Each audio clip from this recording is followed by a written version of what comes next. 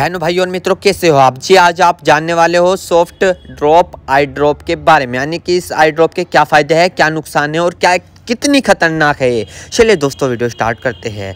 दोस्तों, अब हम इस आई ड्रॉप के फ़ायदे के बारे में बात कर लेते हैं। दोस्तों, यदि आपकी आँखों में पानी आता हो, आप अगर किसी सामने वाले को देखते हो, किसी इमोशनल आदमी को, और उसके बाद, उसे देखने के बाद आपकी आँखों में पानी आ जाता है तो आप उस दिक्कत में भी इस आई ड्रॉप को डाल सकते हो, या फिर इससे हटकर किसी और वजह से आपकी आँखों में पानी आ जाता हो, उसमें भी आप इसको डाल सकते हो। और या फिर आपकी आँखों में जलन होती हो, उसमें भी आप इसको डाल सकते हो, या आपकी आँखों को हवा ना शहन होती हो, यानी कि आपकी आँखों के सामने जब हवा आके टकराती है, वो न शहन होती हो, उसमें भी आप इसको डाल सकते हो।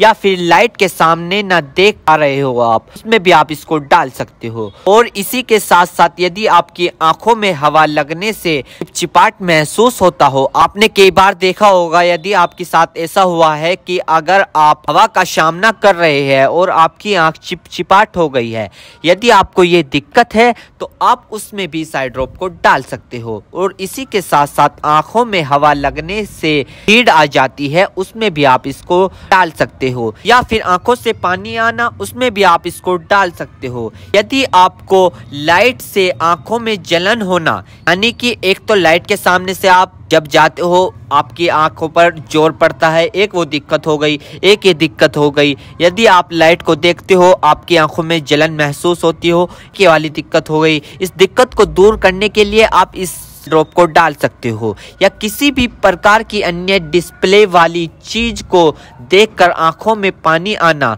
सूखापन आना तो दोस्तों, इसमें भी आप इसको डाल सकते हो। और इसी के साथ साथ दोस्तों, यदि आप कंप्यूटर पर काम करते हो, ज़्यादातर या फ़ोन चलाते हो, फ़ोन का यूज़ करते हो, या किसी लाइट का काम करते हो, यदि किसी भी प्रकार की अन्य डिस्प्ले वाली चीज़ को देखकर आपकी आँखों में पानी आना, उसमें आप इस आई ड्रॉप को डाल सकते हो। और यह समस्या ज़्यादातर तब होती है जब व्यक्ति लंबे समय तक बाइक चलाते हैं।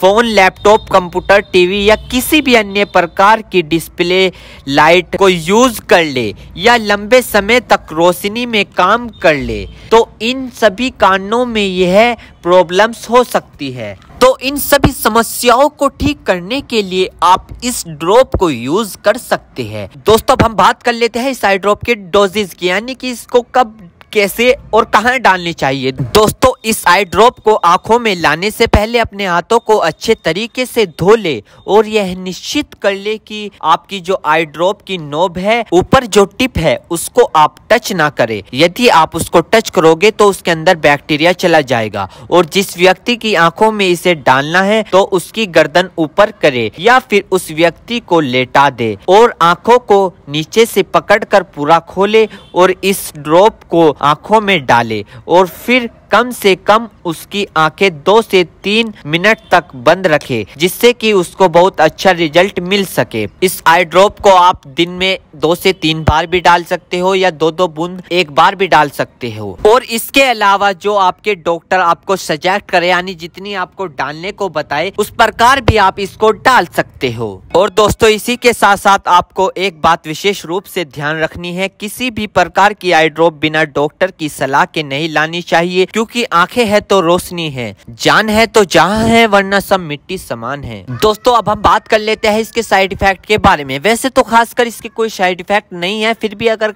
देखने को मिले हैं सामान्य तौर पर तो दोस्तों, ये कुछ इसके साइड इफ़ेक्ट हो सकते हैं। सर में चकरा होना, अचानक से आँखों में जलन महसूस होना, अचानक से आँखों के सामने झंझनाट सी महसूस होना। वैसे किसी में भी ये दिक्कत नहीं पाई जाती है कुछ कुछ व्यक्तियों में दिक्कत पाई जाती है। यदि आप भी कुछ व्यक्तियों में से एक व्यक्ति है और आपने इस आई ड्रॉप को यूज़ कर ली है, आपको दिक्कत हो रही है तो घबराए नहीं।